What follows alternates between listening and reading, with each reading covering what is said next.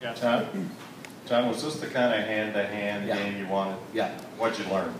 Um, well, we, we got to play with more energy to start the game. Um, we still, you know, um, I've had three Chicago guys do what Tyler Ulis did today, which has changed the game. I had Derrick Rose, I had Anthony Davis, and Tyler Ulis. And I, very rarely do you see a guy walk in and just change the game, like change the whole flow of it. And he did that today. Um, but let me go back and tell you, Andrew Harrison was really good today. Uh, four steals, four assists in 20 minutes. That's like a eight and eight move, and he still scored. And I told him he needed to score more when that group is struggling. He's got to figure out to be the point. Yet he is a terrific scorer, and when they're struggling, he's got to. I was happy for Alex. Karl's still struggling a little bit. Willie was unbelievable defensively.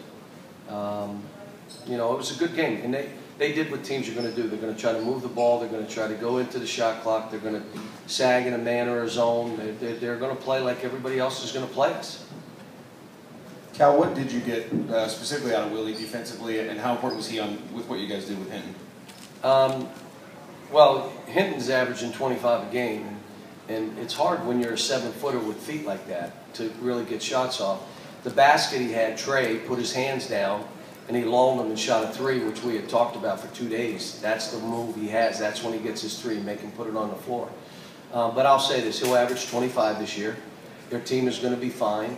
They're still, you know, they're beat up a little bit, not real healthy, but they're going to be fine. And um, like I said, I was happy we were up at half, and I told our team this is what we need, and we got another one coming up Friday.